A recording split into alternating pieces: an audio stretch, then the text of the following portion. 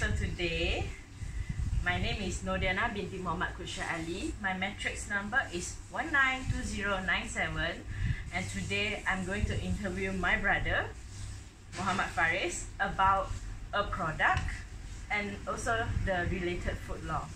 So before anything else, let's start. So first of all, I want to talk about my product. It is a gold coin sweetened creamer Okay, so before anything else, I want to ask my brother. Okay, um, what do you know about this product? Like, when do we use this? Okay, obviously, this is a uh, sweetened cream. Uh, when do we use it? Probably during uh, when we want to mix drinks, beverages. Yes, you're right. So, this sweetened creamer is usually used to make like tea, coffee, to add the creaminess and also the sweetness in our like when we drink tea it's sweet right? So that is what it's used for. Okay so what else? Mm, let me ask. How do you keep it? You can examine the labeling. It's actually in the labeling. How do we keep it? yes. I think probably we keep it in the refrigerator. yeah like in our house. Okay we use this and also once we open it we keep it in our refrigerator to i think one of the reason my mom did that is to avoid ants but also it's actually more we can keep it for a longer time when we put it in the refrigerator but based on the labeling here it's stated that we can keep it a cool and dry place I think it's before we open the can, we put it outside, right? So that's all about that's about how we keep it. Um, another thing, do you, where do you think it is manufactured from? uh, over here it's stated from Selangor, Malaysia. Yeah, so it is um, manufactured in Malaysia, which is a local factory. So okay, I'm talking about what I'm learning for this half of the semester uh, from the course Food Law FST 4609 and this from what I learned according to Food Act remember the book I bought?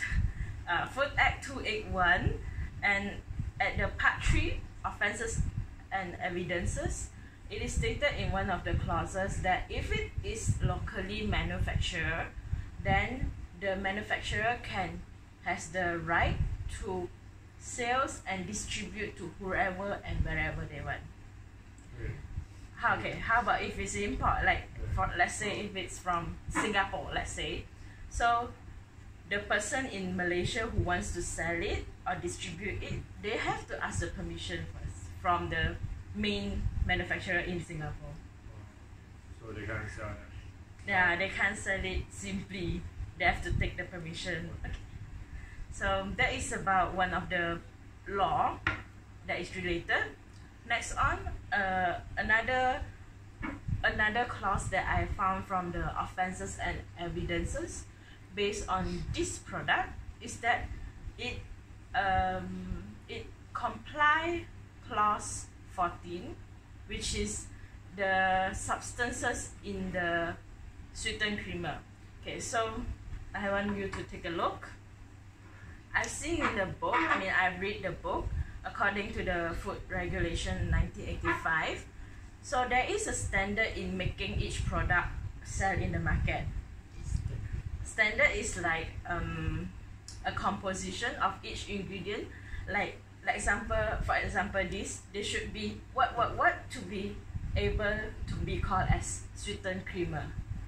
Okay, let me give you What do you mean? okay, let me explain it more detail. Okay, so the standard of a product to be able to be called as sweetened creamer, it should have the ingredient of a sugar mixing with uh, uh, vegetable oil. So if you look at the ingredient, I want you to take a look at the ingredient. Okay. You can you see any vegetable oil? Uh, yeah. That's Refined palm oil. Yes, refined palm, palm oil is the vegetable oil. See sugar? Yeah, sugar. So these two combining in the ingredient mm-hmm. and it is a standard to call this product as a sweetened creamer. Okay, there's also another rules, the standard to have this product as sweetened creamer, which is it should have milk constitute. Any milk constitute that you've seen here. Solids. Yes, milk solid is the milk constitute to be able for this product to be called as sweetened creamer. Okay, so how if FNN didn't comply to this law? Like there is no milk constitute, but it's called sweetened creamer. Do you think? What do you think about the um, what we call punishment to that?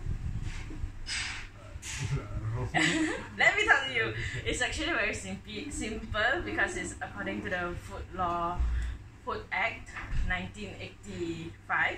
So if they didn't comply the clause 14 of offences and evidences, they will have to uh, go into the jail for not exceeding five years or to fine or both. Okay?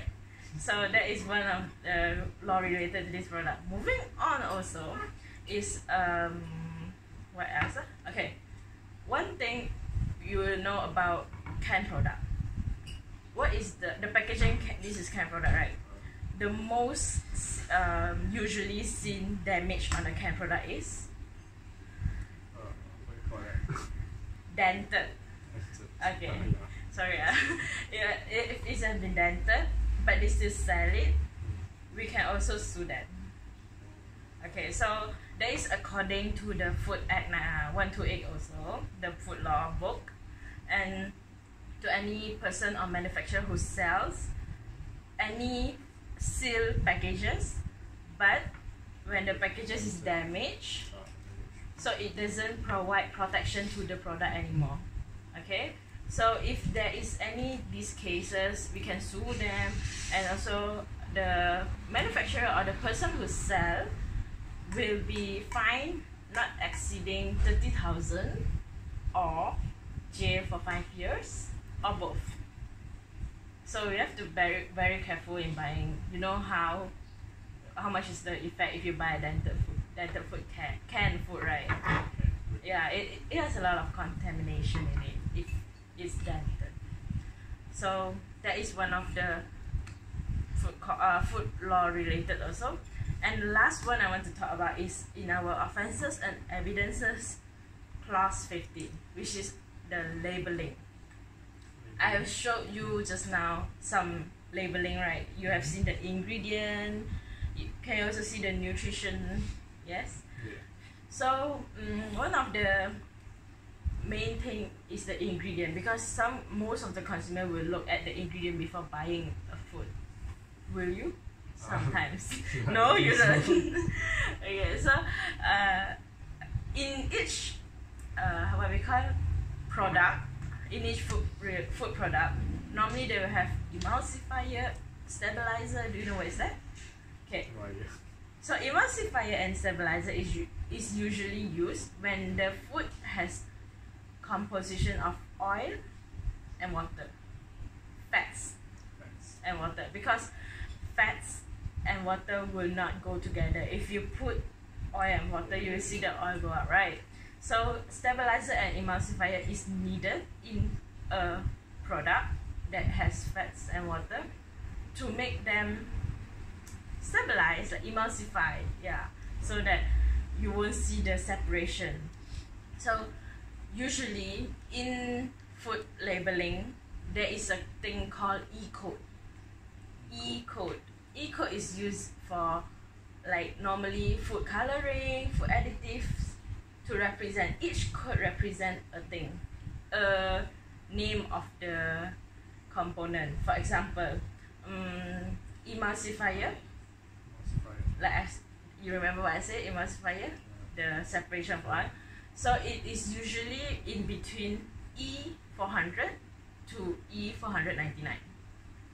Okay, so let's example in milk product usually the emulsifier used is mono or diglyceride fatty acid. So this emulsifier should have the E code of 417. it is very important to see if that particular E code, like that particular E code representing a component, right? To see if that particular component is uh, harmful to our health or not. Because there have been some food additive that is harm to uh, that is harmful to our body, like uh, very common food coloring that can cause uh, hyperactive in children. There are this kind of food additives. So actually, it should have been put at the e code to make the consumer more aware of what we are eating into our body. In conclusion, do you see how important food law in our daily product? We use this daily actually, so it's actually very important in promoting a product into the market. Yeah. So throughout my learning of food law, FST 4609, um, I've learned a lot. Also, I read a lot. The book is quite thick. So I'm promoting this to my family for them to create their awareness as well. So that's all for today. Thank you. Thank you for my brother featuring.